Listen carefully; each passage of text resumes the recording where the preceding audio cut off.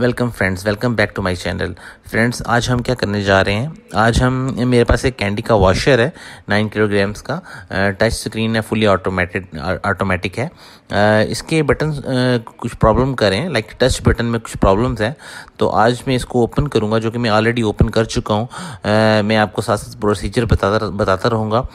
मैंने कहीं से ट्रेनिंग नहीं ली जस्ट यूट्यूब पर मैंने इसकी थोड़ी बहुत ट्रबल शूटिंग बटन्स की किस तरह होती है, वो देखी और मैं इसको ट्रबल शूट करूँगा। तो आप लोग मेरे साथ रहिए और गौर से देखिए, अगर किसी किस्म की क्यूरी है तो आप मुझसे शेयर कर सकते हैं। जी जी फ्रेंड्स तो ये हमने आपको बताया कि कैसे इसको ओपन करना है। अब हम आपको बता दें कि जो बटन्स हैं बटन्स जो होते हैं, वो यहाँ से ऑपरेट हो रहे हैं। ये टच बटन्स कराते हैं। ये टच पैनल सा इन्होंने छोटा सा लगाया हुआ है। ये छोटी सी इसका बोर्ड सा इन्होंने बना के लगाया हुआ है। इसको हमने सिर्फ़ अभी साफ़ किया है। अगर ये फिर भी वर्किंग ना कर रहा हो, फिर इसको उतार के इसकी दूसरी वाली साइड को अच्छे तरीके से रब करके उसमें एलुमिनियम की टेप लगाई जाती है ताकि वो अपनी परफॉर्मेंस अच्छी कर सके। अभी हम फिल, फ़िलहाल इसको सिर्फ़ साफ़ करके और फिर इसको दोबारा चेक करके देखेंगे कि आया कि ये अपनी टच पैनल्स पे साफ़ हमने जैसे साफ़ कपड़े से इसकी डस्टिंग वगैरह को रिमूव किया या इसके ऊपर कोई स्टेन वगैरह थे तो हल्का सा उस बटन यहाँ पर जैसे अगर देखें आप तो ये प्ले का बटन है, ये बाकी उसके स्पिन का बटन है और ये सारे बटन हैं ऑप्शन हैं डिफरेंट इसमें तीन चार बटन हैं जो कि तकरीबन पाँच बटन ये टच के हैं, ये छः बटन तो अब हमने इसका जो पैनल है वो ये पीछे से था, इसको हमने ओपन भी कर लिया था, आपको ओपन करने का तरीका बताया था और हम इसको जो है अब इसको हम बंद करने जा रहे हैं वाइंड अप करने जा रहे हैं तो आप इसको स्टेप्स को देखिएगा फॉलो कीजिएगा। सबसे पहले ये लाइट्स हैं, जो कि लाइट्स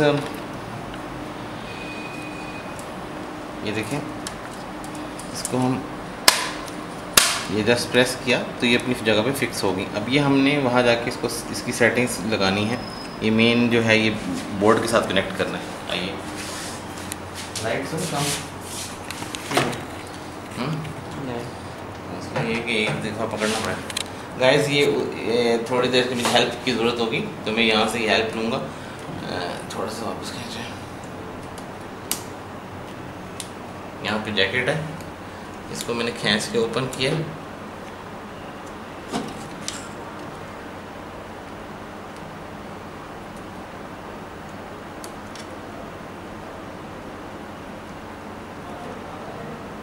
अच्छी तरीके से पुश करूँगा और फिर दोनों हाथों से इसको जैकेट को क्लोज कर दूँगा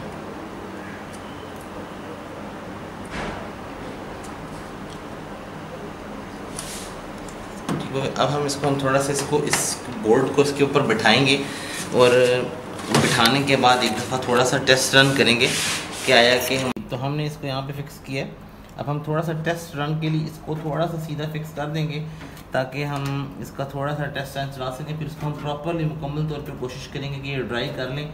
और ड्राई करने के बाद हम इसकी बाकी ये भी हमने साथ लगाना है। टेस्ट रन के लिए हम थोड़ा सा इसको फिक्स किया ये इसका बटन भी ऊपर लगा लेते हैं, ताकि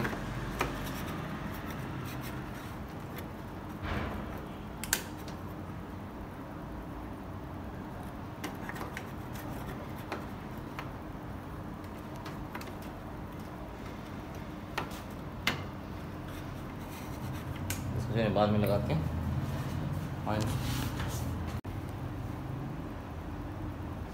देखिए हमने ऑलरेडी एक ऑन पे की हुई थी सेट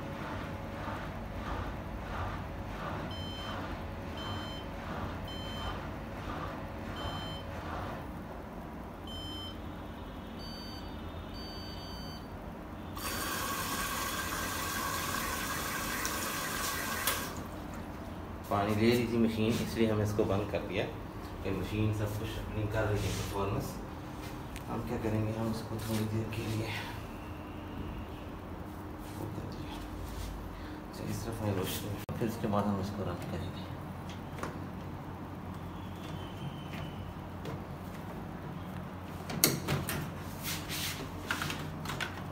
यहाँ पे स्क्रू लगाने हैं। तार उतार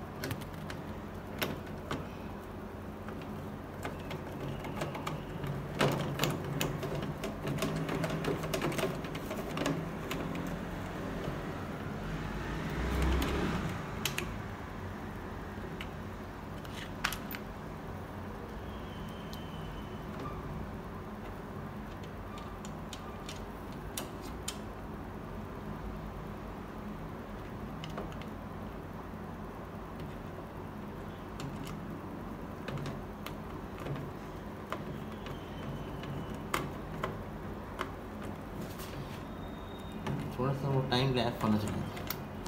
ताकि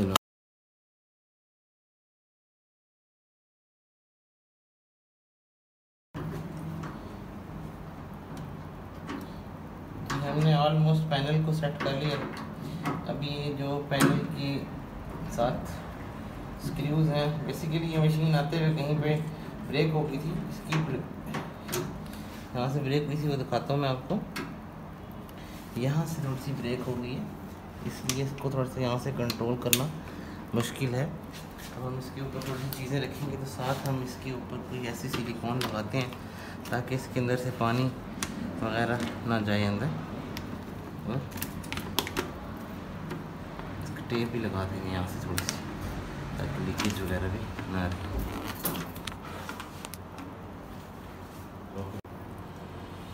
देखिए गाइस मैंने आपको बताया था कि ये हमारी लेफ़्ट साइड की ब्रैकेट है जो कि ब्रेक हुई हुई थी ऑलरेडी इसने यहाँ पे आके फिक्स होना है। यहाँ पे फिक्सिंग के लिए इसको हम जस्ट इसके ऊपर ये स्क्रू है, यहाँ पे रखेंगे। थोड़ा सा प्रेस करेंगे, ये फिक्स होगी। और अंदर करेंगे तो ये ऑलरेडी इसके साथ ये।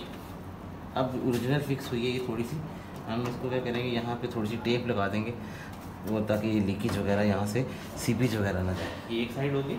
दूसरी ब्रैकेट है। दूसरी ब्रैकेट के लिए देखें ये स्क्रू है।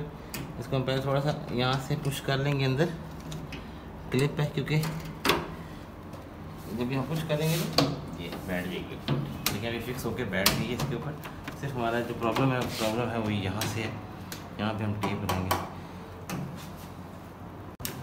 इसको टिक्की तरीके से अंदर डालेंगे। क्योंकि आपको बताया था ये ऑलरेडी यहाँ से ब्रेक है इसका वहाँ पे फिक्स ये देखिए यहाँ पे जगह खाली है इसका मतलब ये फिक्स नहीं हुआ वहाँ पे। तो अंदर से फिक्स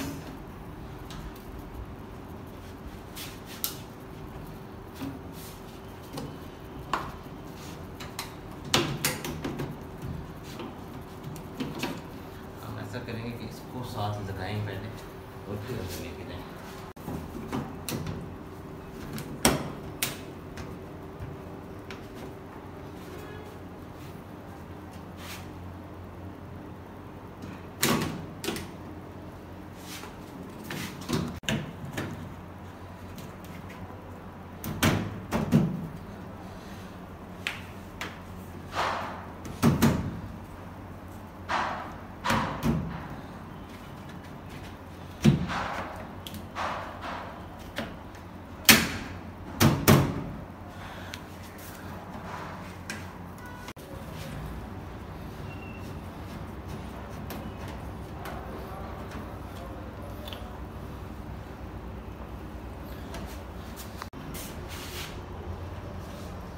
जी गाइस फ्रेंड्स ऑलमोस्ट मैंने इसको फिनिश कर दिया। यहाँ से ब्रेक हो गई थी, जब ये आ रही थी ड्यूरिंग ट्रांजिट यहाँ से थोड़ी सी ब्रेकिंग थी इसके अंदर। तो हम यहाँ पे थोड़ी सी टेप लगा के इसको, क्योंकि मेन पैनल यहीं पे है, इसको हम क्लोज़ करने की कोशिश करेंगे कि ताकि कोई प्रॉब्लम इसमें हो ना। ऑलमोस्ट इसके अंदर टेप से हम इसको जोड़ेंगे।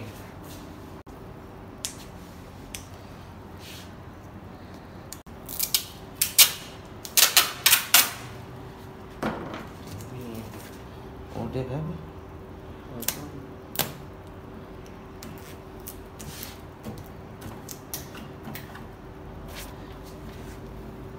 जी गैस तो हमने इसको ऑलमोस्ट पैक कर लिया। यहाँ से हमें अभी टेप नहीं मिली।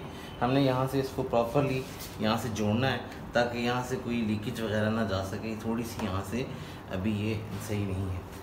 तो बाकी ऑलमोस्ट तकरीबन हम, यहाँ पे हम टेप लगाएँगे। ताकि ये अपनी इस लोकेशन पे बैठ जाए और पानी की छींटे वगैरह ना जाए। फ़िलहाल इसको बंद करके हम चलाते हैं। ये बटन था। ये ये बंद चल नहीं रहा था। ये भी चल रहा है।